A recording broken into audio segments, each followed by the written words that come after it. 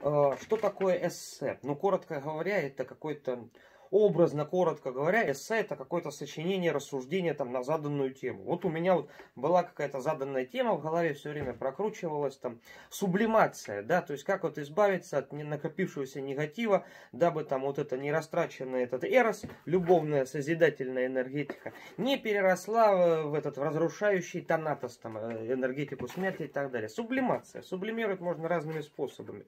Я вот делаю уборки постоянно, фехтую, готовлю там и так далее. Мало времени остается остается. Вот, что здесь написано. Оптическая мышка, уборку делал, да? Оптическая мышка э, Пантера, да? Тут написано Пантера, весь мир у вас под рукой. Как раньше древние говорили. Вот, рука, качающая колыбель, правит миром. Так, так. Дальше. А что написано рукой моего отца здесь? Что внутри плата управления SM25 дром 50 одна штука, плата индикации VH100 одна штука. Козьма Прутков говорил, если, если на клетке буйвола увидишь надпись «слон», не верь глазам своим. Не уложился, да и хер с ним. Вот так вот бывает тоже.